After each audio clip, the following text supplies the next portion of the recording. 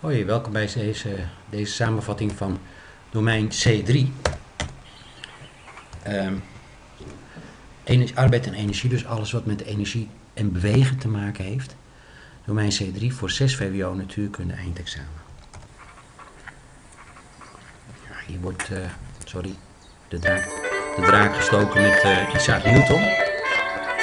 Misschien wel de grootste natuurkundige aller tijden. Albert Einstein was ook een hele grote.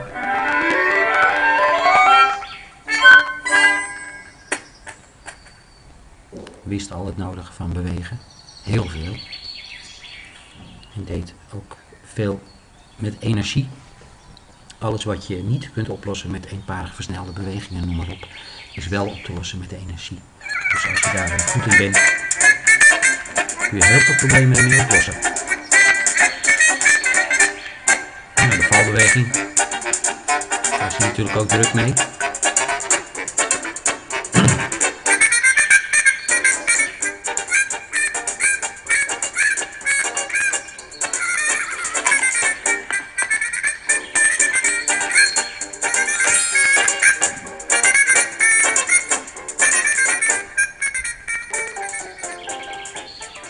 Ja.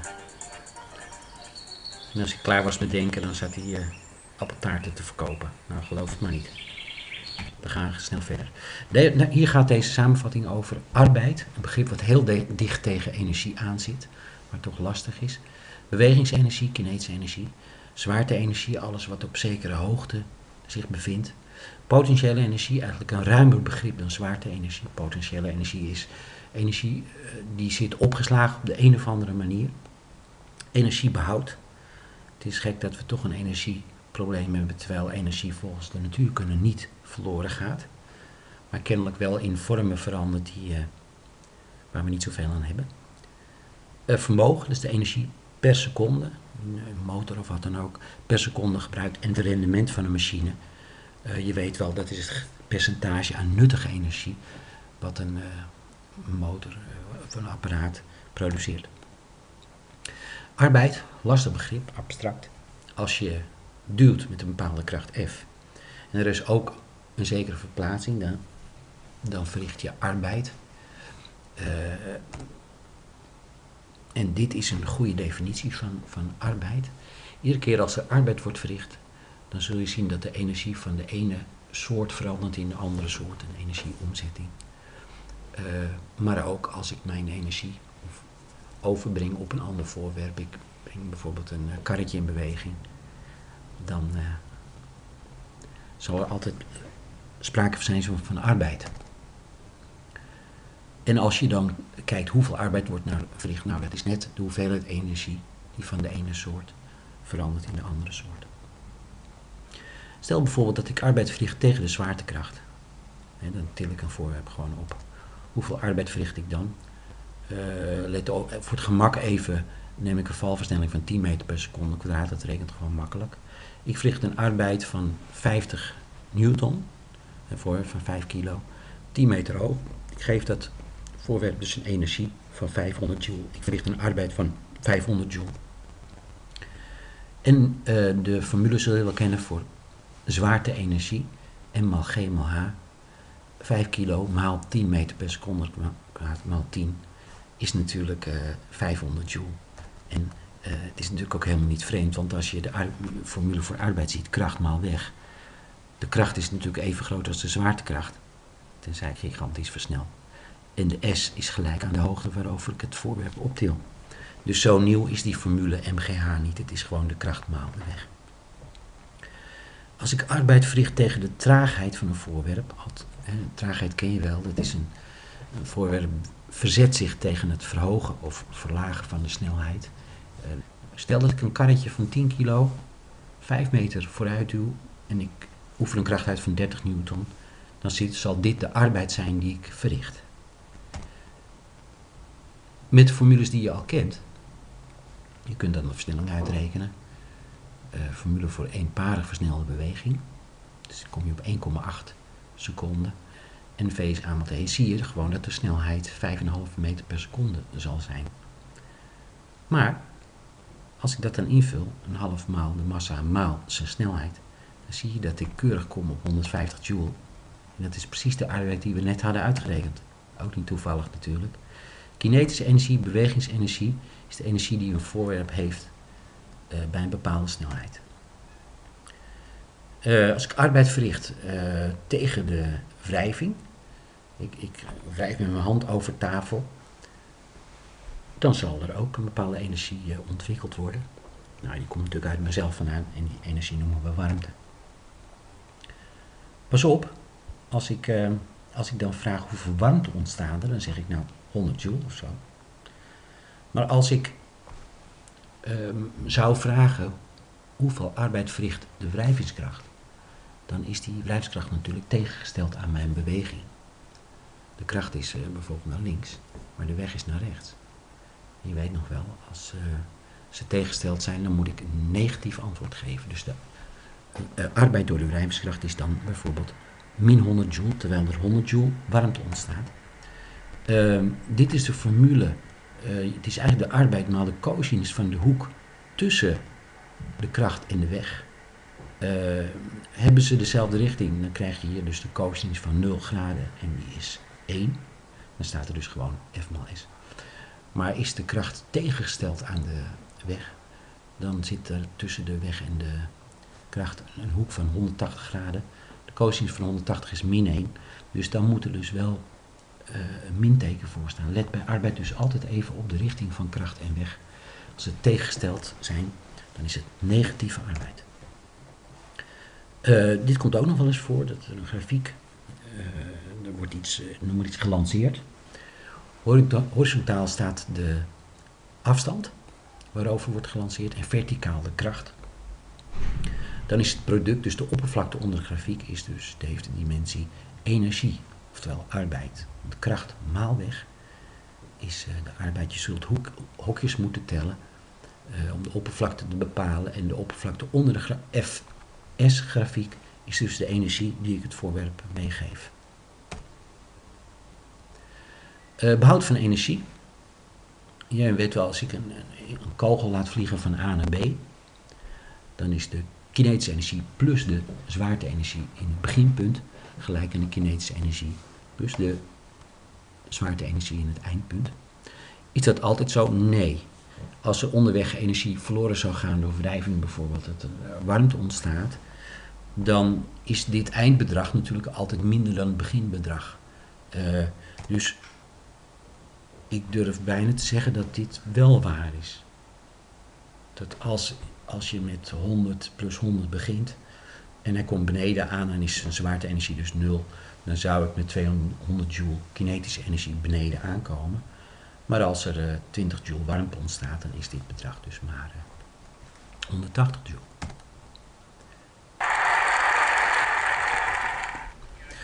Uh, deze manier laat je even wat zien. Een berekening met behoud van energie. Een karretje, een rollercoaster. Uh, wagentje begint hierboven op 70 meter hoogte uh, met een snelheid 0. Staat daar dus stil. Dan hier op 40 meter hoogte vraagt hij zich af wat is de snelheid daar. Je snapt, dit is absoluut niet op te lossen met eenparig versnelde of eenparig vertraagde beweging, want dat is het gewoon niet. En de tweede vraag die zich stelt, stel dat ergens de, op een heuveltje de snelheid 30 meter per seconde is, wat is de hoogte van het heuveltje dan?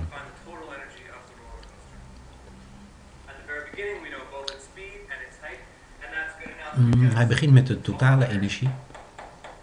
Die is gelijk aan de zwaarte-energie, gravity, plus de kinetische energie. MGH. G gebruikt die uh, 10 voor, zul je zo zien. De hoogte is 70 meter, dus 70 x 10 is 700. Massa weten we niet. En daarom schrijft hij hier ook 700 maal de massa. Plus de kinetische energie. Nou, als de snelheid 0 is, hij moet even nadenken, dan komt hier absoluut ook 0 uit. 0 in het kwadraat is 0. Streep je dus door.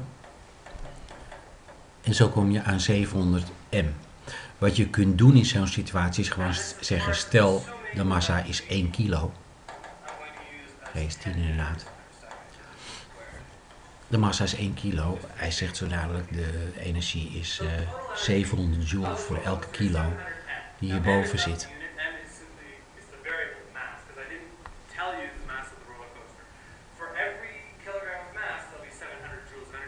Voor elke kilo 700 joule energie.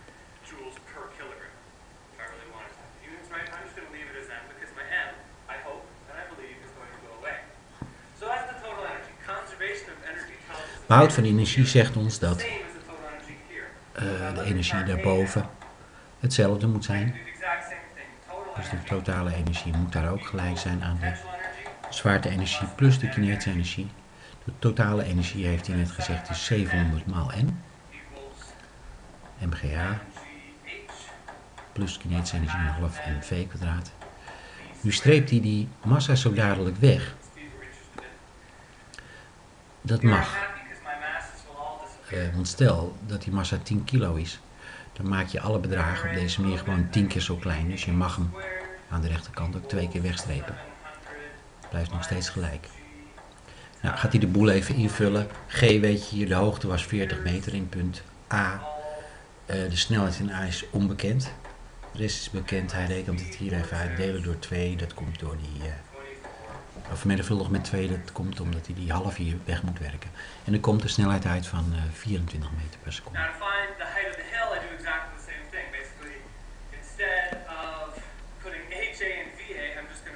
Op dezelfde manier gaat hij nu de hoogte van B uitrekenen. Door te zeggen, je begint weer met dezelfde hoeveelheid energie, 700 maal m, is de potentiële energie, zwaarte-energie, plus kinetische energie in punt B. Streep de massa weer weg.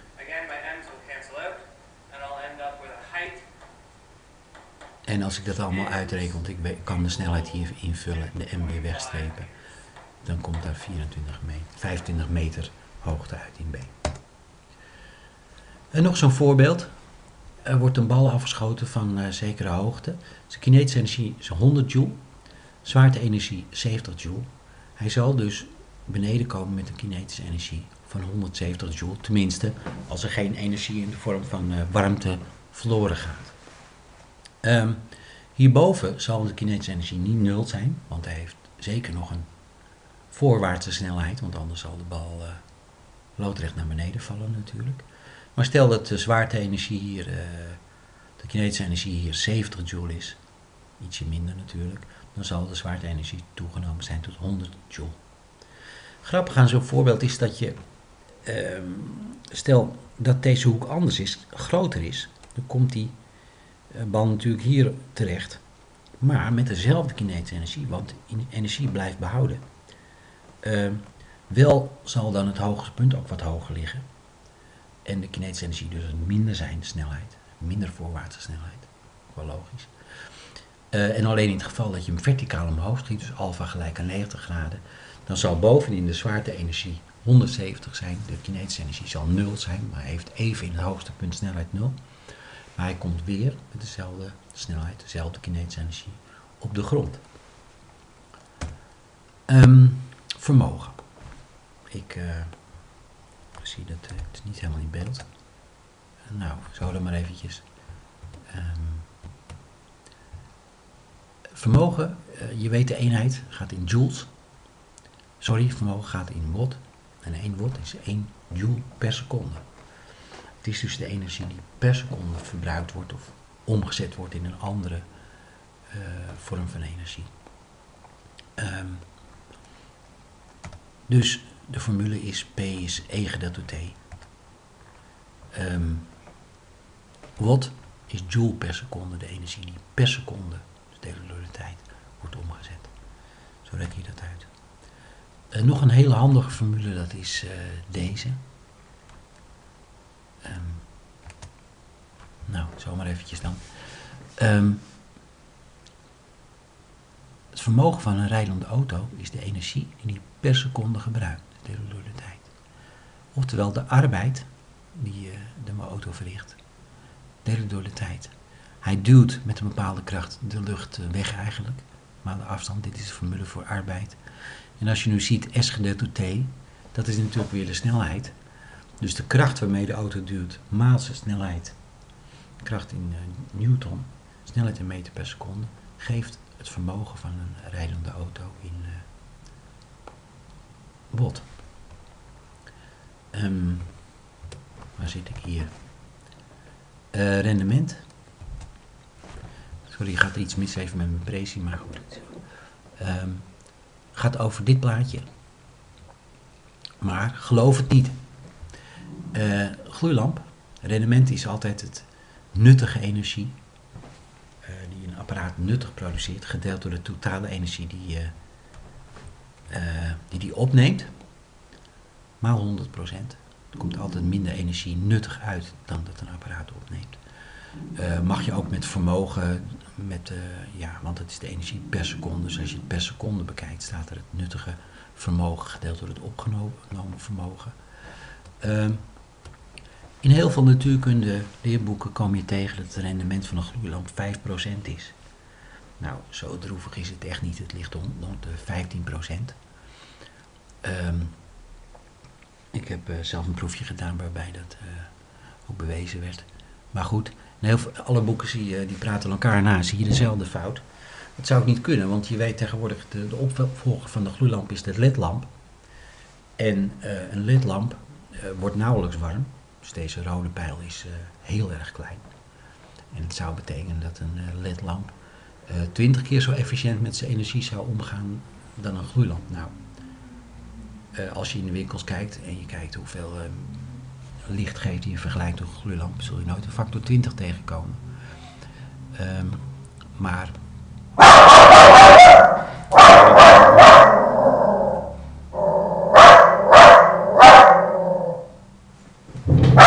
Nee, niet mag.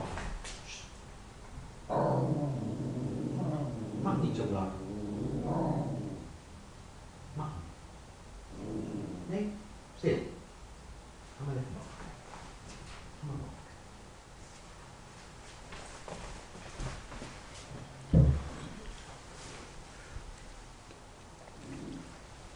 Um, ik snap wel waar dit vandaan komt, deze 5%. Stel dat je uh, de centrale die de elektrische energie levert voor deze lamp, dat je het verlies daarin meerekent. Nou kijk, een centrale heeft een rendement van op zijn hoogst 40%. 60% van de energie moeten we daar helaas weggooien in de vorm van warmte. En als je natuurlijk die 5%, uh, 15% die ik net noemde, vermenigvuldigt met 0,4, dan kom je inderdaad een dergelijk percentage. Maar ja, die gloeilamp kan er natuurlijk ook niks aan doen dat er uh, in de energie, in de centrale zoveel energie wordt weggegooid. En dat kun je de gloeilamp niet aanrekenen. Dus gloeilamp rond uh, 15% aan nuttige energie in de vorm van licht. Ik wil je nog laten zien de, uh, nou, ene animatie. Als je googelt op PHET, dan krijg je natuurkunde animaties echt prachtig krijg te zien. De ramp is een heel mooi, daar kun je karretje tegen een helling oprijden en kijken wat er met de energie gebeurt. Maar nog een mooier is Energy Skatepark. En die animatie wil ik je nu graag uh, laten zien. Uh, skater. En ik zet hem hier op de baan. En gaat heen en weer. Je ziet uh, hier de energie, de totale energie is deze groene balk. potentiële energie is steeds hoog. Kinetische energie is nul in de uiterste standen. En, ja, maar onderin nu dus is hij maximaal. Ik zal nog even de energie wat. Nou ja, de, de zwaarte-energie wordt natuurlijk groter, althans wordt, wordt omgezet in energie. Even nog, ik pak hem even. Oh, ja, ik zet hem hier neer. Oppassen dat het rustig aan gebeurt, anders dan. Oep, sorry. Bij, er is toch een klein beetje warmte ontstaan toen ik hem in de.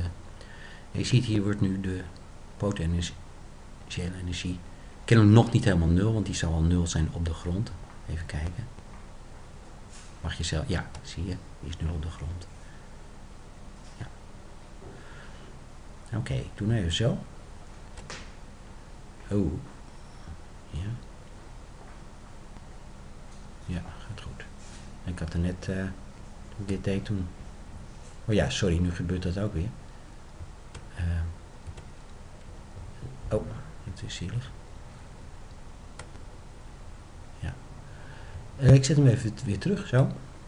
Ik hoop dat hij keurig in de baan blijft. En ik ga zorgen dat er een beetje wrijving is. Eh, hier. Ja. Je ziet dat nu langzaam de energie lijkt te verdwijnen.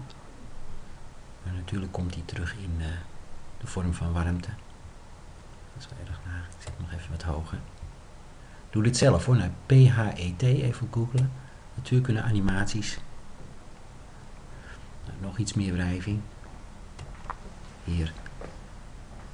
Dat is die oranje balk die hier zit. Ziet... Uh, ja. Langzaam lijkt de energie te verdwijnen, maar het wordt warmte. Um, je kunt met deze dingen ook erg leuke dingen doen. Kijk even de baan veranderen. Iets meer zo. Kunt er stukjes uh, bij zetten aan de baan.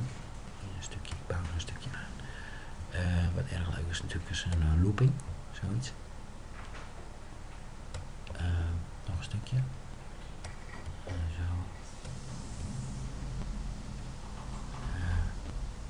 nou, laat ik het eens even kijken. Zo. Nee, nog een stukje erbij. Zo. Nou, als ik het mannetje hierop zet, zal het niet goed gaan. Kijken of die hier netjes in de loop. Nee, de snelheid is niet genoeg. Ik begin met iets meer snelheid. Want natuurlijk zal die anders. Misschien dat de baan ietsje meer cirkelvormig moet zijn. Hij moet natuurlijk wel netjes in de baan blijven. Ik begin heel hoog met veel zwaarte-energie. Ja, hij doet het. Maar daarna gaat hij natuurlijk de diepte in. Maar als ik zoiets doe, zal het waarschijnlijk wel... Uh, mooi vloeiende baan natuurlijk. Toch gekke dingen. Skate, oh, skater terugzetten. Klik. Oh, neem niet kwalijk. Ja.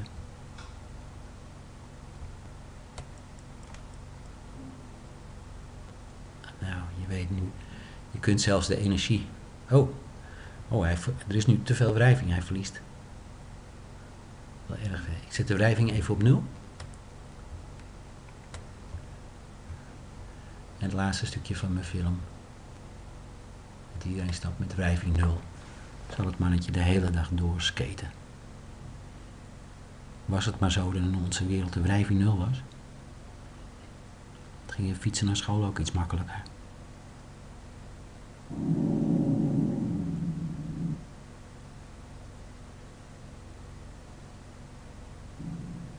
Nou, hoe lang zou ik het laten duren?